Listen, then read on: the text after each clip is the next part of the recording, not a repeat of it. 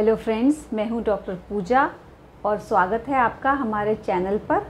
आज हम आपके लिए एक नया वीडियो लेकर आए हैं, जिसमें हम आपको ये बताएँगे कि ब्रेसेस काम कैसे करते हैं, यानी कि how do braces work and move your teeth into a better position braces का एक्चुअल काम किस तरह से होता है? तो चलिए फ्रेंड्स आज ये डिस्कस करते हैं और ये पता लगाते हैं कि जो ब्रेसेस आप अपने ऑर्थोडोंटिक ट्रीटमेंट में लगवाते हैं अपने ऑर्थोडोंटिस्ट से, वो एक्चुअली वर्क कैसे करते हैं।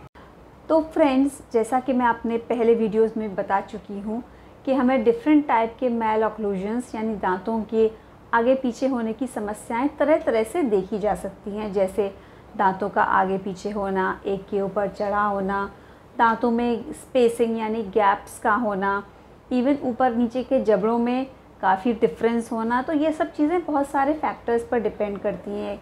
कोई मेडिकेशन आपने लिया हो, कोई हेरिडिटरी प्रॉब्लम हो, या फिर कोई और प्रॉब्लम्स हो जिसकी वजह से कोई आपकी हैबिट हो, जैसे इस प्रकार के मैलोक्लूजन्स देखने को मिलते हैं। तो जब हमारे पास पेशेंट्स इन प्रॉब्लम्स को लेके आते हैं और हम उनको पूरी जाँच करने के बाद ये बताते हैं कि उनके लिए ब्रेसेस का ट्रीटमेंट ही बेस्ट रहे। तो पेशेंट्स ये जानना चाहते हैं कि ब्रेसेस एक्चुअली काम कैसे करते हैं। तो फ्रेंड्स ब्रेसेस अप्लायंस में मेन तीन पार्ट होते हैं जिनके बारे में मैं आज आपको बताती हूँ।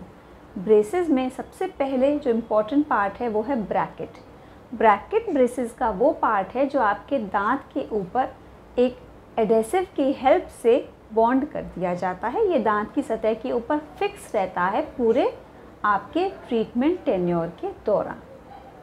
इस तरह ये ब्रैकेट आपके सारे दांतों पर लगाया जाता है, जितना भी आपके ऑर्थोडोंटिस्ट को ठीक लगता है, उसके अकॉर्डिंग ब्रेसेस बॉन्ड करने के बाद नेक्स्ट फ्रेंड आता है आर्च वायर ये हमारे दांतों की आर्च की शेप का वायर होता है, जो ब्रैकेट के साथ मिलकर काम करता है दांत को डिज़ायर्ड पोजिशन में मूव कराने के लिए. And in the last friends इन दोनों ब्रैकेट और वायर को आपस में जोड़े रखने के लिए हमको नीड होती है मॉड्यूल यानी ओ टाई की या फिर लाइगेचर टाइल्स की. तो फ्रेंड्स ये जो मॉड्यूल्स या ओरिंग्स होते हैं, ये बहुत सारे कलर ऑप्शंस में अवेलेबल होते हैं. Neutral colours translucent grey colour और even different different colourful modules भी अवेलेबल होते हैं। इनका फ़ंक्शन केवल कलरफुल दिखना और आपकी ब्रेसेस को एक अट्रैक्टिव अपीयरेंस देना ही नहीं है। इससे बहुत कुछ ज़्यादा है। ये हमारे ब्रैकेट और वायर को एक साथ सिक्योर करने का काम करते हैं, जिसकी हेल्प से दांत पे रिक्वायर्ड फोर्सेस एग्जर्ट होते हैं और दांत डिज़ायर डायरेक्शन में मूव करना स्टार्ट कर देता है। तो फ्रेंड्स ये तीनों एक बेसिक अप्लायंस का पार्ट हैं ब्रेसेस अप्लायंस का और इन तीनों के साथ ही आपका जब फोर्स एग्जर्ट किया जाता है तो दांत डिज़ायर्ड पोजीशन में मूव करना शुरू कर देता है। तो friend apart from the these three mentioned parts of the orthotic appliance जो मैंने आपको अभी बताया, हमारे पास बहुत सारे coil springs elastomeric chains elastomeric tiles और बहुत सारी अटैचमेंट्स होती हैं जो हम according to the need treatment के दौरान यूज़ करते रहते हैं। In the last friends I will like to tell you about the scientific basis of orthodontic tooth movement यानी कि साइंटिफिकली दांत uh, और ब्रेसेस मिलके कैसे मूवमेंट करते हैं आपके दांत का। जब फ्रेंड्स आपके अप्लायंस के थ्रू हम फोर्सेस एग्जर्ट करना स्टार्ट करते हैं आपके टीथ पर तो दांत के जिस दिशा में दांत का हम मूवमेंट चाहते हैं उस दिशा में दांत की जो बोन है वो रिजॉल्व होना शुरू हो जाती है फोर्स की वजह से। और दांत उस दिशा में आगे मूव करने लगता है। और इसके पीछे वाली दिशा में जहाँ से दांत आया है, वहाँ पर बोन डिपॉजिट होना शुरू कर, हो जाती है। तो ये बोन रिजॉर्प्शन और बोन डिपॉजिशन का जो इंपॉर्टेंट मेकेनिज़्म है, ये आपके दांत को सही पोजीशन में मूव करवाने में हेल्प करता है। इसके लिए फ्रेंड्स हमको बहुत ज़्यादा कॉशसली आपके दांतों पर as and when required forces को लगाना होता है।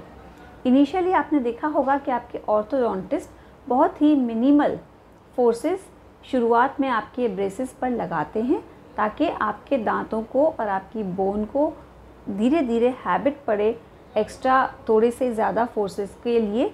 तो हम पहले माइल्ड फोर्सेस से शुरुआत करके फिर मॉडरेट और फिर हैवी फोर्सेस पे जाते हैं according to the requirement of your treatment ताकि हमें कोई भी इस ट्रीटमेंट का कोई भी साइड इफ़ेक्ट या कोई प्रॉब्लम ना हो। आमतौर पर देखा गया है कि एक महीने में दांत एक मिलीमीटर ही मूव कर पाता है साइंटिफिक तरीके से और एक तरफ़ बोन रिजॉर्व होती है और दूसरी तरफ़ हेल्दी बोन डिपॉजिट होती है। तो आई होप फ्रेंड्स आपको ब्रेसेस की वर्किंग मैकेनिज़्म का आज ये जो वीडियो है, इससे आपको ये समझ में आया होगा कि एक्चुअली जो आप ब्रेसेस का ट्रीटमेंट ले रहे हैं, वो आपके दांतों को मूव कैसे करवाता है। ये स्लो और थोड़ा सा लंबा ट्रीटमेंट है नो no डाउट पर अगर आपके ऑर्थोडोंटिस्ट कॉशियसली और बहुत ध्यान से इस ट्रीटमेंट को करते हैं तो इसका कोई भी साइड इफ़ेक्ट नहीं है और ये एक तरह से परमानेंट ट्रीटमेंट होता है, जो नेचुरल वे में आपके डेंटिशन को बहुत ही अच्छे से सेटल कर देता है और आपकी मुस्कान को एक बहुत ही हेल्दी और ब्यूटीफुल लुक देता है. Thanks for watching the video अगर आपको कोई भी डाउट है तो आप नीचे दिए गए नंबर पर हमको व्हाट्सएप करके या कॉल करके अपने डाउट्स को क्लियर कर सकते हैं।